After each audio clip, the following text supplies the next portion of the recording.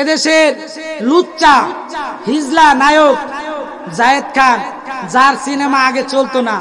উল্টা পাল্টা টিকবাজি টিকবাজি দিয়া ভাইরাল হয়েছে কয়েকদিন আগে তার বক্তব্য দেখলাম, সে বলতেছেন, শালার ইমাম টিমামরা যারা আছে, এরাই তো খারাপ, এরাই বলৎকার করে। নাউজুবিল্লাহ পড়বেন না?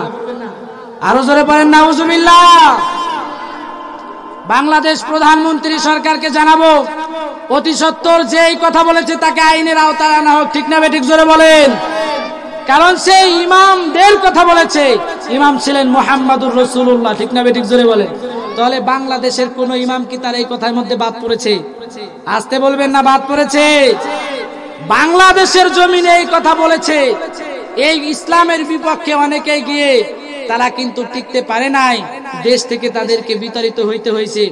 অতএব অতি সত্তর আমরা তাকে জানাব যে, ব্যাপকভাবে যেটা এটা সমালোচনা হয়েছে, অতি সত্তর জাতির সমাজে এসে, জাতির সামনে এসে ক্ষমা প্রার্থনা করতে হবে। ঠিক না বেঠিক জোরে বলে